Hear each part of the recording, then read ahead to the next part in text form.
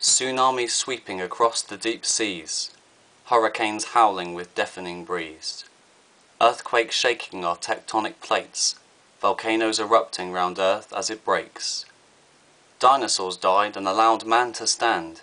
Millions of years changed the face of the land. A new world was born, and with life it did flourish, enough natural resources to keep us all nourished. For a long time the man and the earth were as one. We drank from its rivers, bathed in light from the sun. The soil was rich and ideal for seeds. The planet attended to all of our needs. But earth for its pleasures could not comprehend the mentality of its so newly found friend. We used and consumed without fear or care. We scarred and we butchered a beauty so rare. Poisoning oceans and chopping down trees, relaying landscapes to build as we pleased, taking for granted our grand evolution, seeds that were planted, replaced by pollution.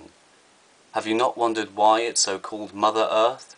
Throughout all of history it has given birth. This bluish-green ball gently floating through space has potential for life quite like no other place.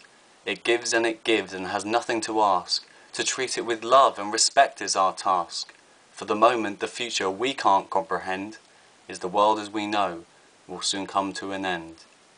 But there is still some time to undo what's been done, requiring our species to all act as one, with wind turbines turning and running on air, solar panels sourcing our sun's constant glare.